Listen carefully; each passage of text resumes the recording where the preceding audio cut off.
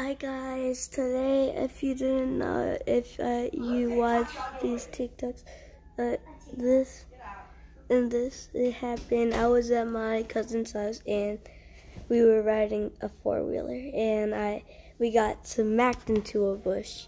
I mean, not a bush, branches. Yeah. So that's how this happened. It was bleeding, not like bleeding, bleeding. Just it was very. So luckily, so I was this close to dying. And then I had one on my nose. Yeah, it's like right there.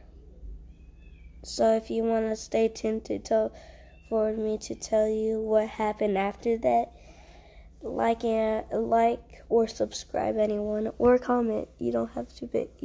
I mean, you have you could pick.